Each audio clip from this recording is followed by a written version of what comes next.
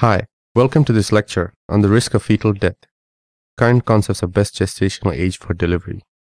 This article was published in the American Journal of Obstetrics and Gynecology in March 2013. We would first talk to you about what this paper is about and then go on to critique the article. This study was conducted because previous studies on the best gestational age for delivery had only looked at problems arising from prematurity and based it on neonatal mortalities. The best gestational age was determined to be between 38 to 39 weeks. However, no studies have studied the fetal risk of intrauterine death resulting from remaining undelivered. The authors then set out to find the best gestational age by comparing the risk of fetal death between 34 and 41 weeks gestational age with the corresponding neonatal mortality rate. This is a retrospective cohort analysis of data from the National Center for Health Statistics for 2003 to 2005 in the United States, looking at birth rate and infant death rate. Exclusion criteria included the following missing variables, multiple gestations, fetal anomalies, gestational age less than 34 and greater than 42 completed weeks, and implausible birth weight. The final population is stratified into high risk and low risk cohorts, with high risk being determined by pre existing maternal conditions as listed. Pregnancies without any of the mentioned conditions were considered low risk. The classification does not include pregnancy related complications such as gestational diabetes, abruption, and or preeclampsia. The high risk and low risk populations are pretty homogeneous and similar. Some differences to note are the high risk group was older with a tendency for pre-existing maternal conditions appearing and a higher rate of C-section. This equation was used to calculate the number of fetal death that could be avoided by delivery for a particular gestational age. We will now look at the results of the analysis carried out.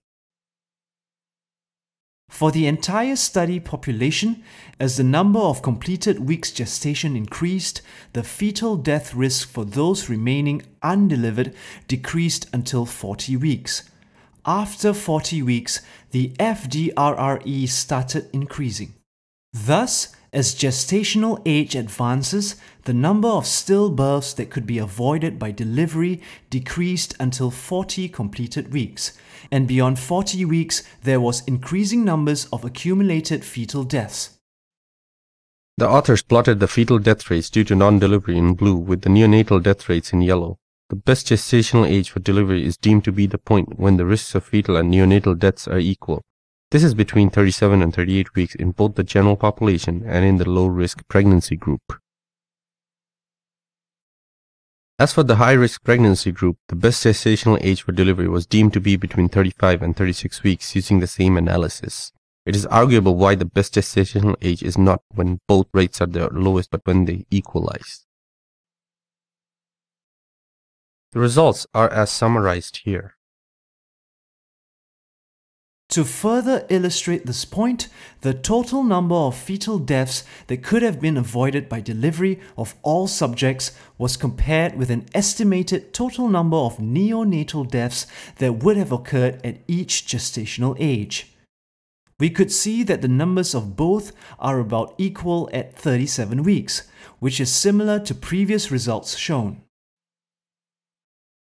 Since there were still neonatal deaths at and after term, the authors deemed that there were causes of neonatal deaths that were independent of prematurity. This arbitrary number was then deducted from all neonatal death numbers at the different gestational ages.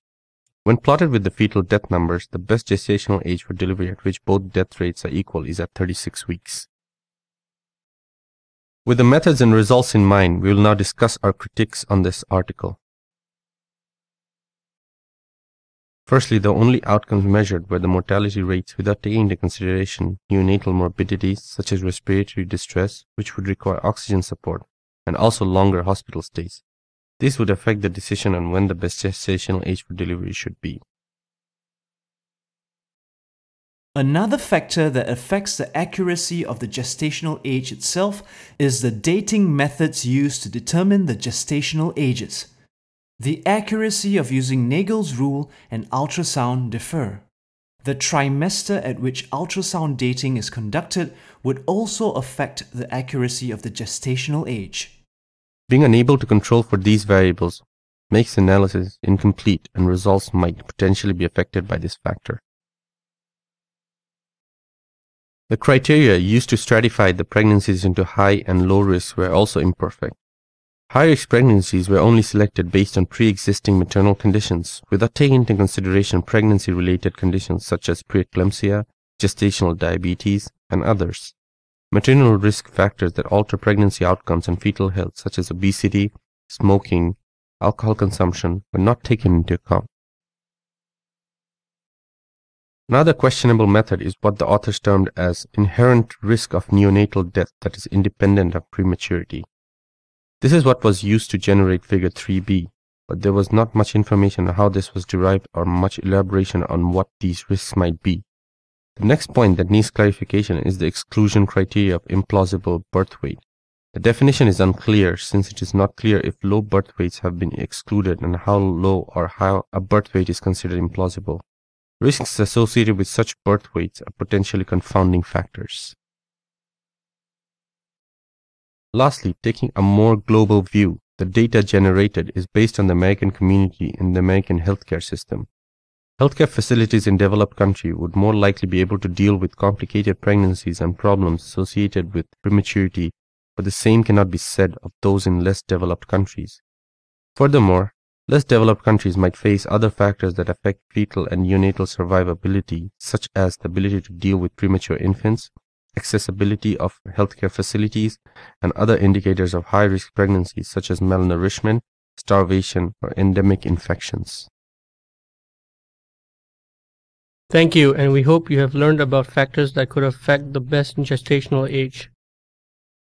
Quiz time. Question 1. What is the study design adopted in this paper?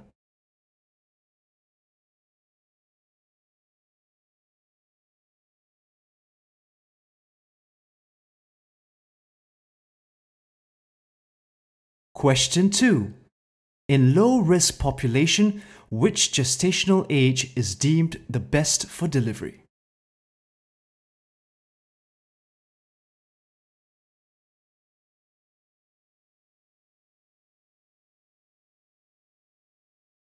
Question 3. Which of the following is not an area of improvement for the study?